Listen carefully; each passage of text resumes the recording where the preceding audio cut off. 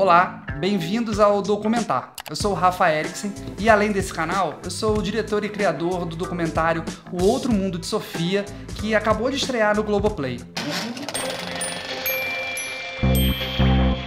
Então hoje eu vou contar para vocês como uma ideia virou um projeto e acaba virando um filme que agora tá no Globoplay. Eu queria muito que você assistisse. A trajetória do Outro Mundo de Sofia tem muito a ver com tudo que eu falo aqui no canal, que é justamente essa escadinha em como as ideias se desenvolvem e como elas vão tomando forma e se tornando outra coisa.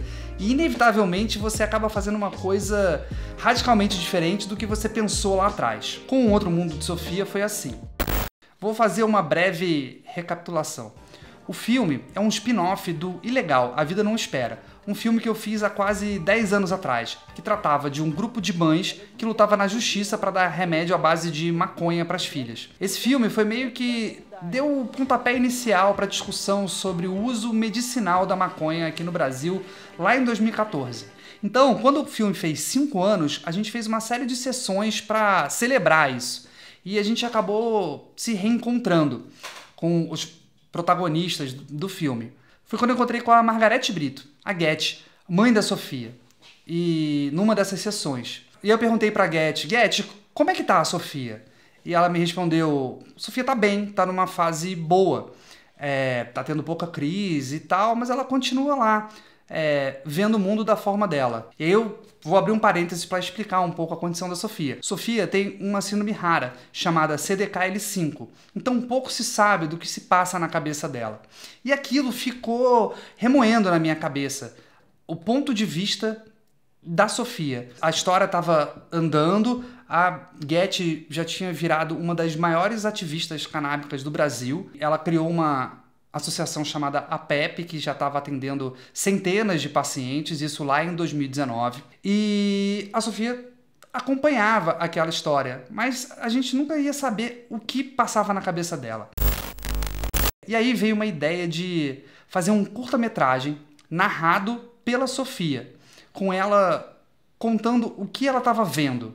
A ideia era ser um curta-metragem mesmo, assim, algo de 5 ou 10 minutos com uma narração em off, contando um pouco da história do que tinha acontecido com aquela família nos últimos anos. O que eu fiz a partir dali foi precisava transformar essa ideia em um projeto. E a primeira coisa que eu fiz foi um processo de inserção.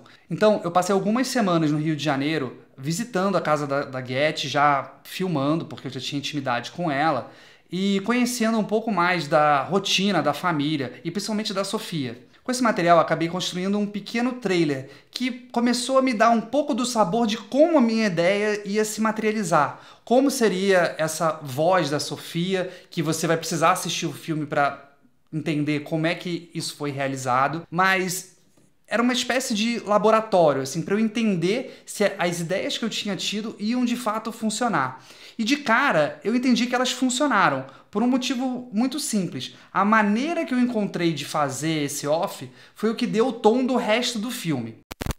E aí, a partir daí, o que era para ser um pequeno curta-metragem, eu já tinha entendido que tinha uma história a mais ali para ser contada. E acabei transformando ele num projeto. E aí, você lembra no vídeo sobre sinopse como vender uma ideia apenas com um parágrafo?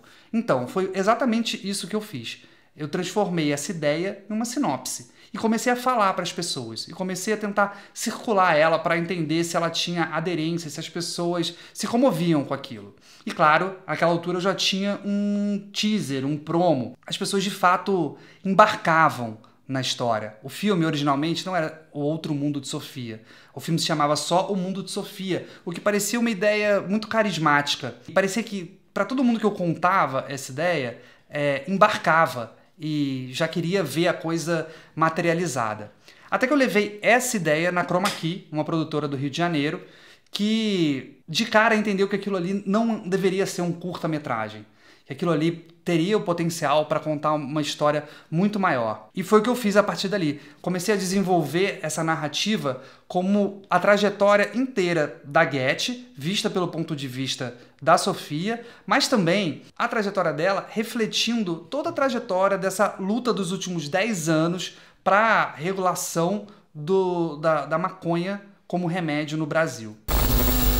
O que aconteceu é que veio uma pandemia no meio do caminho e atropelou tudo, né? E aí o projeto teve mais fôlego para se desenvolver mais. E eu fiquei, nos tempos que eu fiquei trancafiado, eu seguia escrevendo e transformando aquilo numa grande jornada da Get. Nesse meio tempo, a família da Get e a APEP, associação que ela, é, que ela coordena, é, acabaram criando a primeira fazenda de maconha no Rio de Janeiro, o que fez o projeto virar uma outra coisa. E aí eu acho que é bem um exemplo de como é bom você não ter controle sobre as coisas. Quando eu comecei a pensar esse filme lá atrás, era para ser um, uma espécie de filme caseiro, contado sobre a ótica da Sofia dentro de uma casa, dentro da vida do cotidiano da, da família da Sofia. Com o acontecimento da Fazenda, a coisa mudou radicalmente de patamar.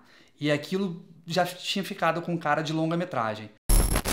Nesse meio do caminho, eu já tinha um extenso e robusto projeto é, já bem desenvolvido sobre toda a jornada. E a gente acabou chegando no GNT, que embarcou numa coprodução junto com a Chroma Key e que é, nos possibilitou de fazer, é, transformar esse projeto num longa-metragem. Acabou que todas as gravações que eu fiz pro, pro início, pro curta-metragem, que foram feitas em janeiro até março de 2020, foram muito utilizadas no, no filme, mas a gente volta a filmar em 2022, já com a Fazenda em pleno funcionamento e a Get lutando para descobrir o que passava na cabeça da Sofia e, ao mesmo tempo, é, lutando pela regulação da maconha no Brasil. Eu tenho 13 anos e esse é o meu mundo. Não faz sentido uma regulamentação onde uma pessoa está lucrando e a outra está sendo presa. Então, tudo isso para dizer como uma pequena ideia que era para ser um curta-metragem se transforma num longa-metragem. E é curioso, porque o Ilegal, o filme que eu fiz anteriormente, ele também começou como um, um, um curta-metragem. Então, eu acho que tem elementos aí que são pistas de como um filme pode nascer. Então, você sempre precisa de uma boa sinopse que comova as pessoas, um bom promo e, claro, uma ideia ou uma materialização de um curta-metragem sempre é, pode ser uma ferramenta importante e poderosa para você chegar num longa-metragem. Muita gente me pergunta: "Ah, eu tenho uma ideia para fazer um filme para a Globoplay, ou eu tenho uma ideia para fazer um filme para o Netflix". Como é que essas coisas acontecem? Acho que isso é papo para um outro vídeo. Porém, nem sempre as, ideias, as coisas nascem prontas. A gente precisa de muito desenvolvimento e muito passo a passo para chegar no final. E muitas vezes eu sinto que as pessoas já começam com o final da ideia. Eu quero fazer esse filme para o Netflix. Mas para ele chegar no Netflix, na Amazon Prime ou na HBO, ele tem um longo processo de planejamento e desenvolvimento. Então, acho que é, o Outro Mundo Sofia pode ser uma espécie de um bom caminho para quem quer começar a transformar uma ideia num longa-metragem. Bom, isso foi um pouquinho de como uma pequena ideia se transformou num longa-metragem que agora está no Globoplay. Tem perguntas sobre Outro Mundo de Sofia? Manda para mim, eu tô super afim de falar sobre esse filme, tô afim de falar sobre linguagem, tô afim de falar sobre roteiro. Então, aguardo as perguntas e comentários. Assiste lá no Globoplay e depois me conta. Até o próximo vídeo.